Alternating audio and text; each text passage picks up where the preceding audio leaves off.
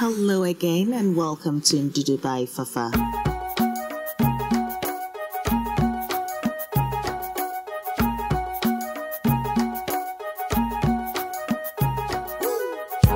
Hello everyone, it's Fafa Gilbert here of by Fafa and welcome to my Creative African Cooking channel. The channel you want to be on if you actually want some tasty dishes in your house. Mm-hmm. And today on the menu, I'm actually making this beautiful fura recipe. In Ghana, we actually always call it as fula fula, but it's actually fura. So it might sound like it's tongue twisting and you're saying it incorrectly, but the correct way of saying it is fura. Now, fura is a traditional dish from the northern part of Ghana, and it's actually made out of milled millet and spices. It's also enjoyed in Nigeria as well. Now, millet is alkaline, which means that it's easy to digest. It does hydrate your colon, it's gluten free, it helps lower and maintain a good cholesterol level because of the presence of vitamin B3. is also a good source of protein, to mention but just a few.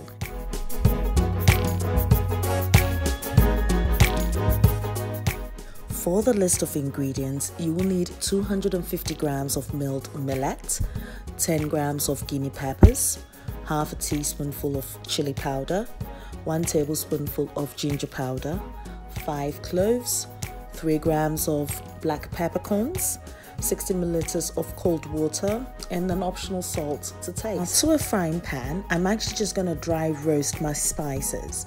This is just to actually release the oils of the spices so that that infuses into the millet powder perfectly.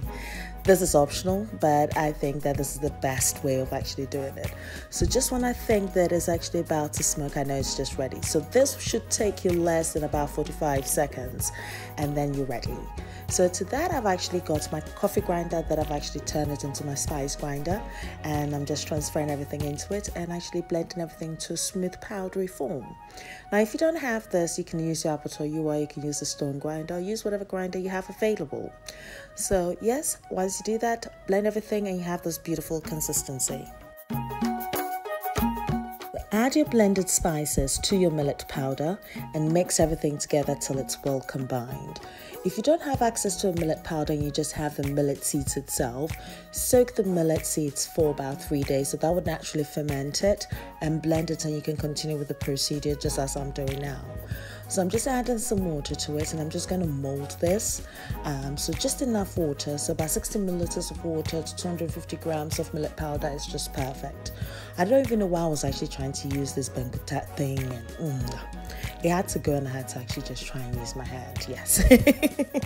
so yes, now if you're using your hand, just make sure that your hands are clean and do so. So I'm just going to mix everything together till I have this perfect dough. And then once I do have that, I'm actually going to mold it into little balls and leave it for about a day or two to allow it to ferment before I actually use it. So mold a handful of the mixture into this beautiful perfect ball until you've actually used all your millet dough.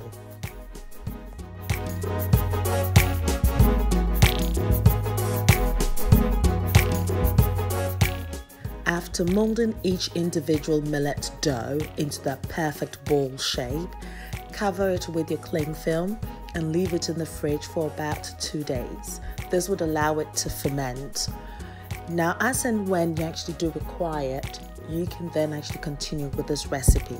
So it means you can actually ferment it for up to about three to four days. Alternatively, you can leave it in a warm place for 24 hours and you'd have that slight fermentation and you're perfect.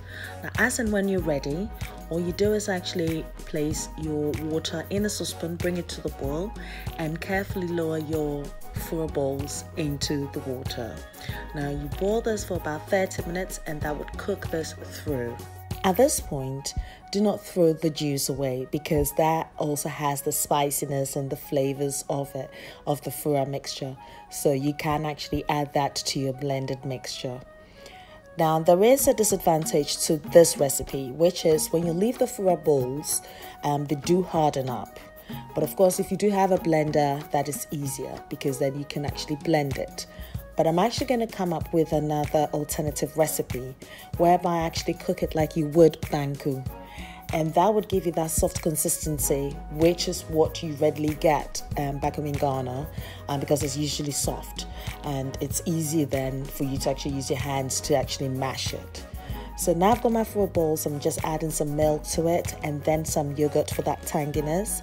Now the advantage of actually adding the yogurt to this mixture is it actually helps balance the flavors because it's tangy and also because of that spiciness due to the introduction of the chili powder as well as the ginger powder, it balances it perfectly. So I'm adding just a tablespoonful of my brown sugar. I'm not much of a sweet tooth person, so I have actually just added the sugar that would work for my taste. You can increase or reduce the sugar up to your preference as well. It doesn't matter.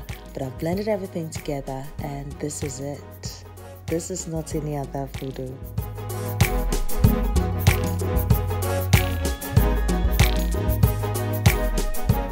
Guys, I had to actually taste it, but this is the thing with Fura. Once you taste it, you can't stop. So I placed a straw in, and by the time I realized, it was like one, I took a breath, came back again, and I was like, girl, looks like I was really hungry and enjoying this at the same time.